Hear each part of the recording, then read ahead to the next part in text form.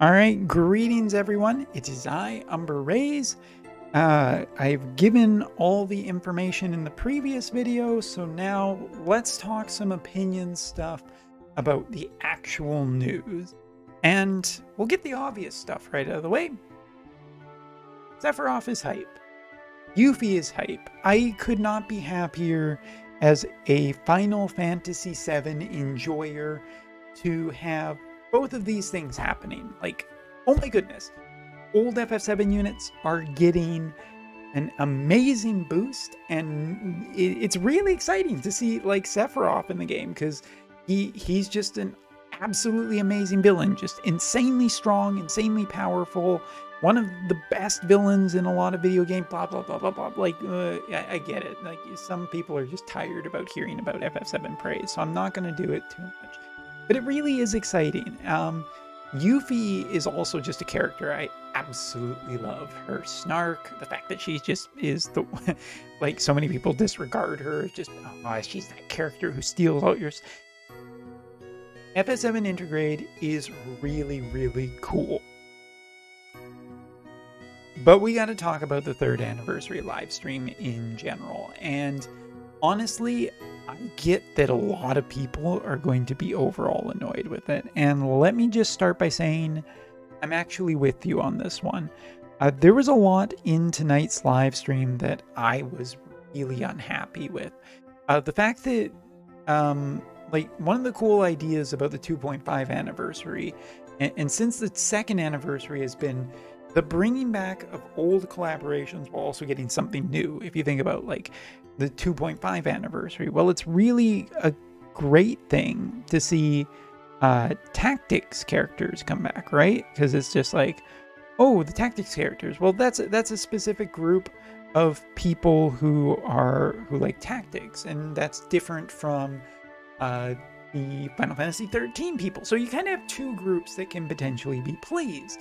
But with FF7 on FF7, it feels uh, way more limited and way smaller, despite it being two massively big characters. And unfortunately, this is criticism um, from the fact that, yes, FF7 people are going to be happy, but if you're not an FF7 person or if you're just not interested in it, this does feel like an overall smaller anniversary, just because of the fact that it, it is more limited in scope, even if it isn't, because there, you know, there's going to be a lot of new event stuff and a lot of new voice work and all of this, and it's like it's it is a little bit more complicated, I think, and it'll be interesting to see when this collaboration come out exactly how developed it is versus undercooked, and see where like once all the details after this anniversary period is over, looking back on it, it'll be interesting comparing to see how I initially thought. But here's the thing in this anniversary live stream, something, if you tear away all the announcements and tear everything off and, and, and the good things and the bad things, this anniversary live stream was just kind of weird. It, for one thing, I mean, you have a lot of uh, voice actors there, a lot of talent behind these characters and everything. But there were no like mini games this year. There were no Hirano doing weird things. There was no um, stage plays, concerts, nothing. There really wasn't anything at this year's anniversary that felt special. As a matter of fact, other than just the number of people that were there, it really just felt like a regular live stream. It didn't feel like an anniversary live stream at all.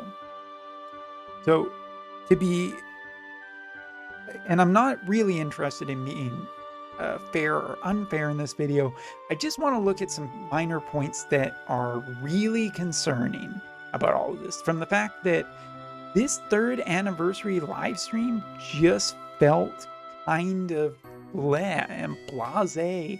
And other when you were watching the live stream, short of that collaboration announcement, there really wasn't anything hype. And there was a lot more to be concerned about than anything else. And I can say that because I've already seen uh, some players are on the JP side are already just saying, you know what, that's it. Uh, kind of just done with the game. And that's their decision. But yeah, the anniversary live stream this year felt really, really weak. Just from a tone comparison before we get into any criticizing other stuff. But it, it just didn't feel like all the other anniversary live streams. And it feels kind of sad that I, I just don't know if they're just too busy, too overworked, or Gumi's just not putting the money into this anymore. Because this didn't feel, like I said, I cannot stress this enough. I sat through the whole thing. It did not feel like an anniversary live stream. It felt so, so tame and so dull through most of it. So, yeah. And we need to talk about the elephant in the room, which is the collaboration. Because even if, no matter how excited you are for Yuffie and Sephiroth, I will be the first to say, I'm incredibly incredibly excited to see Sephiroth in the game. He is just an amazingly cool character, and I, I, I want to just get him on my account. I, I absolutely want him. Uh, even potentially going to pity, but hopefully not. Don't want to go to pity on another 100 cost character. And Yuffie too. Like this is this is the dream for me. Uh, my favorite Final Fantasy, two of um, awesome characters from it. Like it, it feels so great, and I, I feel like both of these characters are exciting for different reasons. That's great. I'm really, really happy about that. In theory, because the thing is, is that I don't like FF7 and FF7 Intergrade being considered a new and an old collaboration. It's not. It, it feels just like Final Fantasy VII. And the fact that so far, as far as I know, FF7 units use an FF7 orb and Intergrade units use an Intergrade orb is fucking bullshit. It is absolutely 100% just pure trash. They are all Final Fantasy VII characters. Fuck you, Gumi. This is absolute trash of the highest level. This should not be happening. And this isn't entitled or anything like that. They are Final Fantasy VII characters. What is this crap about calling it Intergrade? Even if it's from that game, does that mean that eventually Zack and Red 13 and a whole bunch of other characters are going to be rebirth characters? Because fuck that too. I'm just like, this feels so shitty and cheap.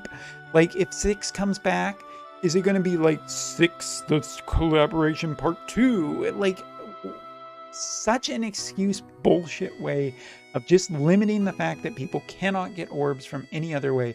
And as we've just found out about the reincarnation system, which uses a lot of orbs from at least what I can see thus far, I'm not excited about it. Like, the, this detracts so much it really, really should have been a different Final Fantasy with Final Fantasy VII again, and then you do Sephiroth a little bit later, and you do Yuffie with that, and you just like you separate out the FF7 stuff.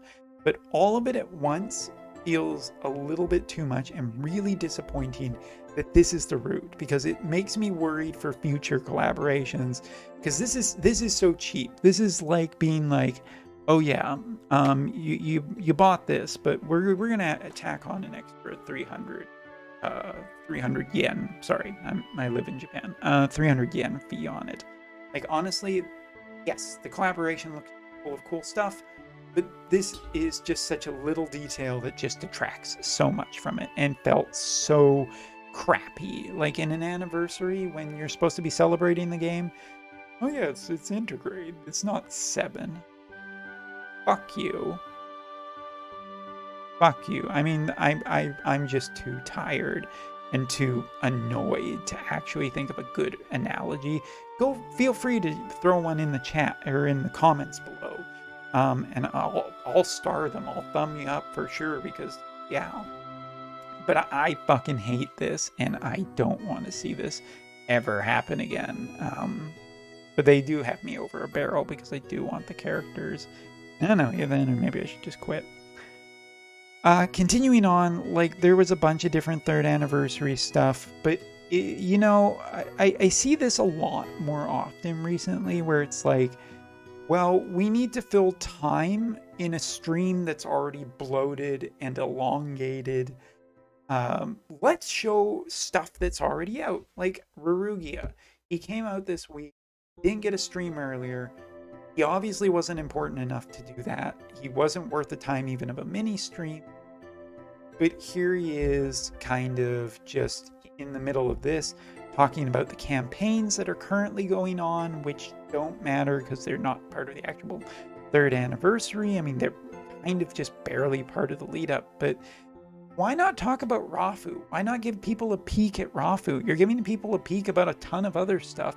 Why not give them more reasons to be more excited? Just mismanagement on this game of how it is being advertised and such. Like, honestly, even the fact that Ra- Rarugia's card, the card that will be coming out next week, features Luartha on it, which is, again, not totally unheard of, but uh, come on, give give the guy some artwork. I mean, geez, I know there's tits on it, but tits aren't gonna aren't enough to make me always pull.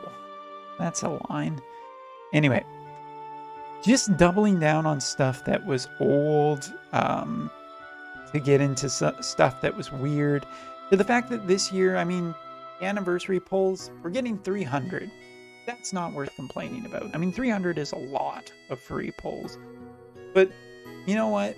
I I kind of honestly would just prefer 10 free 10 polls with a UR on it compared to any number of free polls that's within reason, dear viewer honestly, I mean, there are going to be people who are going to do 300 polls and get no URs more likely than people exceeding the um, average, which might be 12 if we're just talking about statistical percentages of how likely you are to get extra URs and whatnot. It, it, it, just feels so much like they're that like I'm even questioning at this point was this the actual anniversary live stream? Because the anniversary happens on the 14th. Are we to see another live stream to pad this out? I mean, there's this potential slot machine that you could get 300,000 lapis, but honestly, I wouldn't be surprised if anybody gets this because you need it's probably one person and who knows if that account is even active or if the numbers match up um, still hawking these phones that they were hawking in the last stream, the ROG phones, which I don't know, I haven't heard too many good things about them. You can comment if you really want. And then getting into the third anniversary character. This is not who I expected. With the announcement of Dark Ifrit coming to the game and the Dark Ifrit vision card, yeah, a water-based elemental mage. That that seems weird, honestly. I mean, I'm, I'm, this is a character that I think some people have probably wanted for a little while, and I'm not going to detract from your hype, dear viewer. I'm sure you'll enjoy this character a ton when she comes out. She's a 100 cost permanent unit. I mean, you're going to have fun. That's cool. But it's so bizarre. It's just so weird to see this character show up and not Reagan. Where's Reagan? If anybody has seen Reagan, Please, please, please, please, please bring him home just so we can end the discussion. Because the devs have talked about Reagan, so at this point, I think they're just screwing with us. I'm, I'm never. You know what? This point on, never saying the R word ever again. The R name word. But it's so weird to see this character announced, but not the one that they've been talking about for so while and then just not mention him at all. But the last and but well, I guess I shouldn't say the last. I mean, the 90, 100, and 100 Sephiroth, Anubis, and a 90 cost vision card is very, very expensive. But then getting, let's just talk about the fact that um, the reincarnation system. I mean, first of all, they just glossed over the the guild thing. They didn't really talk about the guild thing at all, which is, I guess, fine because they talked about it. there wasn't any mention of the actual PvE content uh, to in any significant amount uh, to talk about the new weapon trials or whatever they mentioned way earlier before stream. So I guess that's been delayed. But the reincarnation system, which I don't think we were given enough details on, they were very vague about exactly how much this is going to cost and exactly how far you'll be able to go with this. And maybe I missed some details, to be fair. But the fact that there's RNG in this can go screw itself. But like putting RNG in upgrade systems, uh, it just sucks. It's just tiring. It's boring. It's frustrating. And you, we all know who you're screwing. You're all you're just screwing the whales. Everybody else can't compete with this. They can't do this. You look at this and it's like at least at level 131 with 10 orbs and you need these sticks and you need more of these uh, rocks that we haven't really been collecting because they've kind of felt useless for a while. And you need a ton of pearls, which trying to get those for limited time units. And everything about this feels disgusting and bad on first glance. And it really would be better than just slowing, showing a couple of slideshows to show us how it interacts because every time they introduce something like this and they don't show it off in any great detail, it feels like it's going to suck. And they don't want to show us the details because we're going to get angry and we're going to feel crappy and people are going to threaten to quit and they're just stringing us along. This is how it feels to me. And I'm just being honest about it. The reincarnation system, at least upon these kind of reveals, never looks great. And when you not when they're not giving us exact details about it, it makes me feel like you're trying to scam us again. So preemptively, this might be like runes, where it only matters to incredibly high level players and everyone else can just kind of ignore it and go at their own pace but boy, do I not feel excited about this, especially if it's going to make its way into like Porcelain Tower. No matter what, whether they're introducing a generic orb, which can't be used to get to 120, but can get used to um, make the reincarnation system, because we have no idea how frequent these are going to be. Like, it's just so whatever. But the last thing that I want to talk about, really, because I'm tired, is this just the announcement of future updates. It took three years to finally get to the point where we can say, yay, we can now get bravery and faith to 97 in the barracks. Three years to get to this point. Three years to have a large stamina exchange. Three years to potentially have a better way to get awakening material. And this was it. This was the last of the real quality of life upgrades that they talked about. It feels like footnotes, not like anything that's actually really improving our game at all. So here's the thing, dear viewer. This anniversary livestream, to me sucked. Despite the hype that came with a couple of announcements, most of it was baffling, slow, uh, felt underproduced for something that's supposed to be an exciting anniversary time of celebration.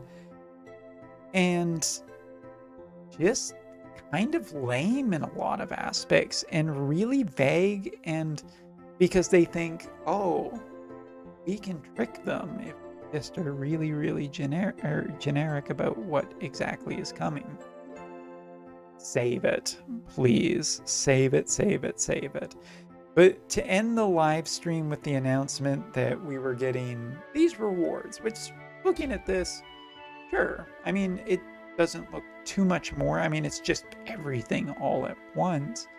But compared to some of the smaller prize packs over the year, definitely have gotten more value out of it. There isn't even a unit selector pack for shards, which woof.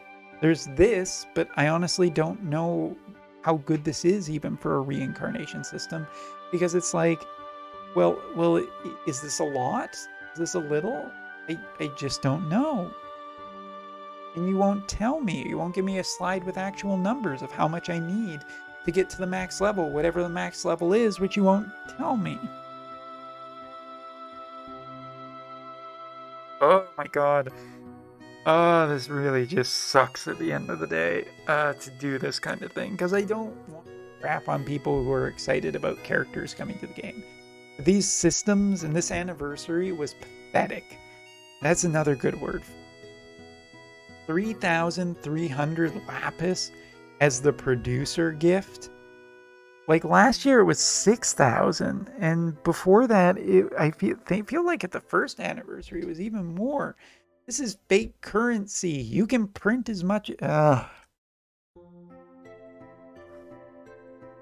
my rating for this live stream is basically a D.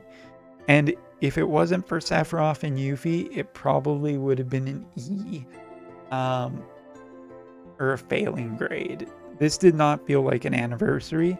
I pray that there's a well, no, I don't. I no, I don't. But it would be really good if there was another live stream on actual anniversary where they went surprise.